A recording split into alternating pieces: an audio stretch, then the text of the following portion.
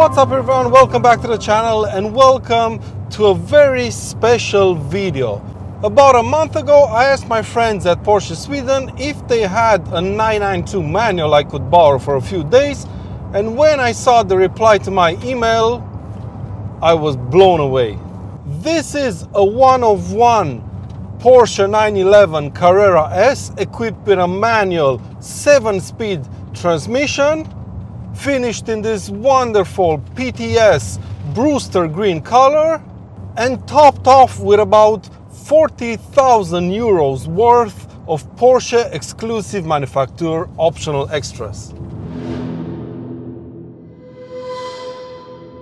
But before I show you around this car, and trust me, some of the detail work on this example is incredible, this is first and foremost a 911 and its main purpose is to be driven hard.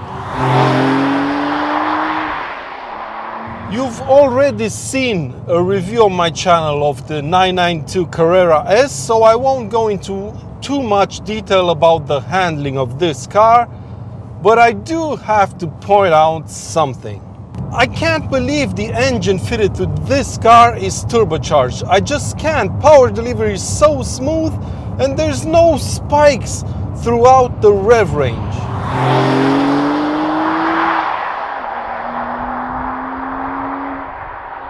It's so refreshing. I mean, don't get me wrong, I love my M2 competition, but whenever I put my foot down, the back is all over the place and the rear wheels are struggling with traction, sometimes even in third gear.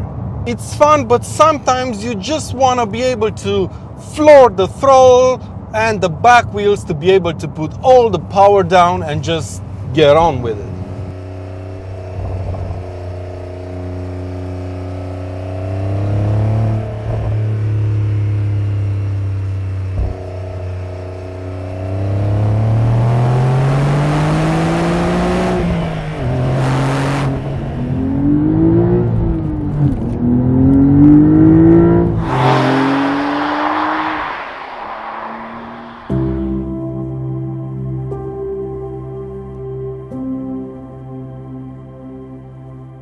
Pointed out in the beginning of the video, this is not an ordinary Porsche spec. I dare you to go to an online Porsche configurator and pick this color. You can't, and that's because Porsche Exclusive Manufaktur is the German company's special request program in simple terms. And with this program, Porsche is not only able to provide you with special paint colors like this one, custom stitching and one-of-a-kind leather upholsteries for your car, but sometimes they even produce some pretty special and, as you might imagine, quite rare machines. The 997 Speedster, the very cool 911 Sport Classic from 2009 and more recently the quite gold Turbo S exclusive are just some of the cars produced by this department. Now let me show you this quite custom 911 and then we'll hit the road again and I'll tell you all about that fabulous manual transmission. As you can probably tell by the spec, this car was built as a tribute to the original 911 that rolled off the production line in 64 if I remember correctly and even though it might look a bit similar to the 1 millionth 911 that Porsche, the big company, built, as you're gonna see, the devil is in the details in this one. Now let me first walk you through the regular options that this car has and then I'm gonna show you the exclusive ones. So this is a Carrera S. It features a 3 liter twin turbocharged engine at the back of course. This is a 911 that can produce 450 horsepower and 530 newton meters of torque. It's rear wheel drive and in the middle it has a 7 speed manual transmission. This car also features the Sport Chrono Pack which gets you the dynamic engine mounts, and mechanical limited slip differential at the back, and driving modes that you can switch by that toggle on the steering wheel. Porsche Active Suspension Management is also an option, lowering the car by 10 millimeters, and Porsche Dynamic Chassis Control, adaptive dampers in Porsche Talk. Then we have rear wheel steering, a 90 liter fuel tank, and adaptive Porsche LED matrix headlights at the front. On the inside you have the 18-way adjustable seats, a sunroof, the quite awesome GT steering wheel, and an Alcantara roofline. But that's it for the standard options. Now let me show you the exclusive ones. First off, you have the two-tone leather that's wrapping the seats, both the front ones and the back ones, and this quite cool contrast stitching that's all over this car. The stitching is not white as you might think at first, it's a shade that's called pebble gray and it looks absolutely fantastic in contrast with the black leather and all the other details. Then you have the Porsche logos embedded into the headrest, which is a quite cool detail.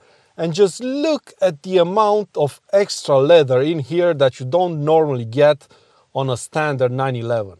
There's some leather on the steering column, near the central venting system over here, on the fuse boxes down there, and you can even find leather on that panel next to the door seals. It's absolutely amazing and of course all the leather that I've just told you about has its very own contrast stitching, of course.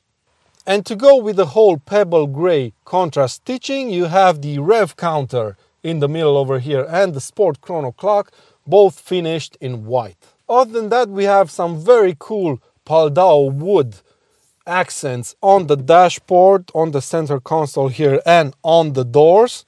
Then the seatbelt mounting points up top over here, they're also in Alcantara. Usually they're just plastic. And even the sun visors are fully dressed in Alcantara. And yeah, that pretty much sums up the interior, which I think is absolutely gorgeous. Now, the most expensive exclusive option on this 911 is its color. It's not Irish green as you might think. It's a 9,000 euro optional extra and it's called Brewster Green. And rumors have it that it was one of Ferry Porsche's favorite color and he even had it on one of his 911s. Continuing the old school theme, you have these gorgeous Carrera exclusive alloys painted in silver, 20 inches at the front, 21 inches at the back. Chrome surroundings on the windows, you don't see those often anymore, right? And even the sports exhaust at the back has chrome tips. Now let me show you these wing mirrors. Now usually when you want the wing mirrors to be painted in a different color than the body, that means only the top part over here is going to be painted in the color of your choosing. But in this case, because this is a Porsche exclusive manufacturer option, the entire wing mirror is painted in silver, as you can see here. Not only that, but this part over here, the mounting, I don't know what you call it, mounting element that keeps the wing mirror on the car is usually a black plastic part, but in this case, as you can see, it's painted in the same color as the body of the car. And that kind of makes it feel like the wing mirrors are floating if you see the car from far away, which is quite cool detail. Also, I'm not sure if you noticed, but there's no window tints on this car, just like back in the day, right? And to complete this walk around, I've saved some tiny details to show you at the end, but they're quite significant in the overall theme of the car. First off, you have the 911 logo at the back, painted in gold. When you open the doors, the Porsche logo gets projected onto the asphalt. Then you have the black brake calipers and even the key of the car is wrapped in leather. So as you can tell, there's endless options you can go for in the exclusive manufacturer program with Porsche and whoever built this car is a true Porsche connoisseur because every single detail that's gone into building this theme of this 911 goes perfectly together. So job well done Porsche Sweden, job very well done. I'm loving this spec.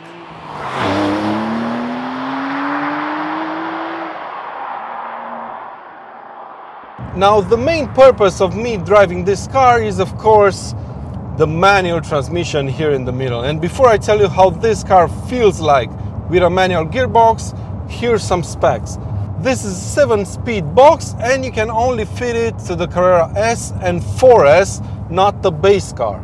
And Porsche's reasoning for this is that they only want to fit the manual transmission to their best-selling models. So there you go.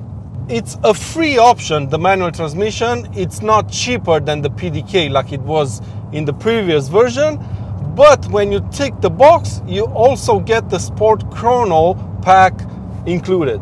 And that gets you dynamic engine mounts, a mechanical limited slip differential at the back, this nice clock over here and this dial for the driving modes.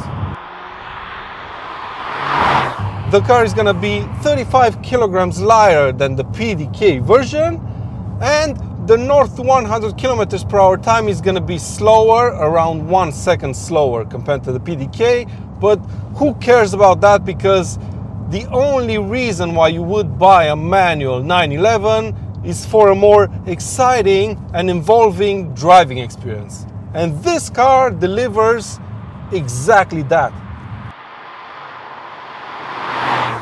This is the best manual transmission fitted to a car. There, I said it. It's very easy to operate, the clutch is light, the shifts are direct and very precise.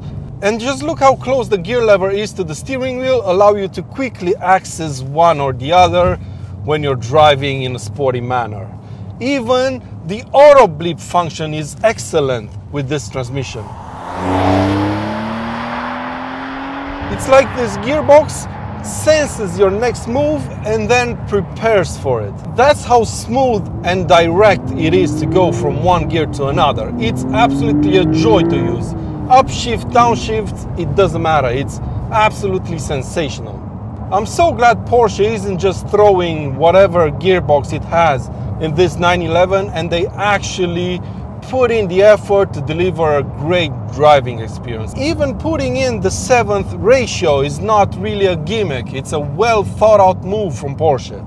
It's quite good for highway driving as it keeps the revs down and obviously the noise levels down, but it also improves the fuel economy on longer runs. For example, you can drive this car at 2000 RPMs in 7th gear on the highway and you're already doing 125 kilometers per hour, so it's absolutely perfect for just cruising around.